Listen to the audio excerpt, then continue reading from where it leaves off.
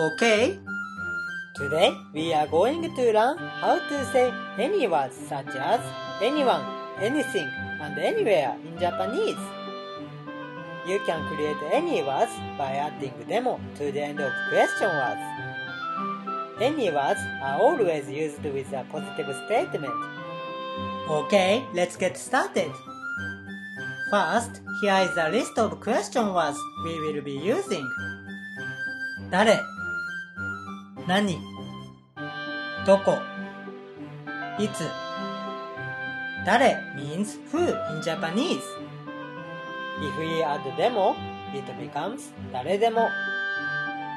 誰でも means anyone.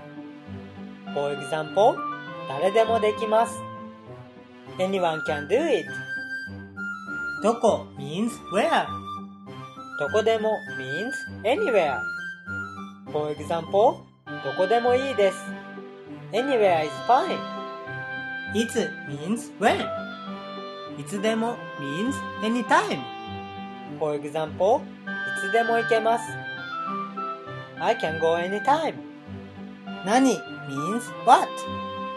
何でも means anything.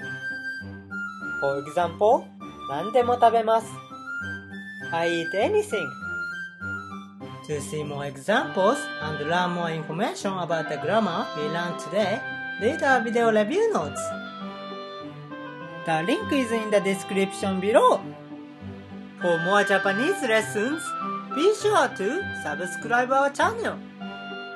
それでは次の授業でまた会いましょうね。